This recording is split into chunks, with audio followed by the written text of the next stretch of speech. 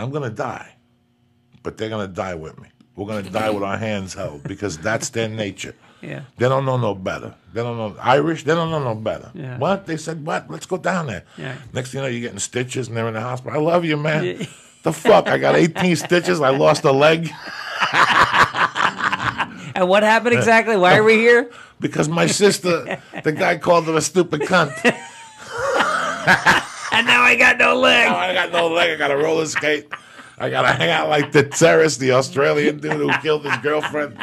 Pitz- Pitz- what's his name? Pizzeris? It's Notorious. I. Pretorius, whatever his fucking clitorius. whatever his fucking name is. Uh,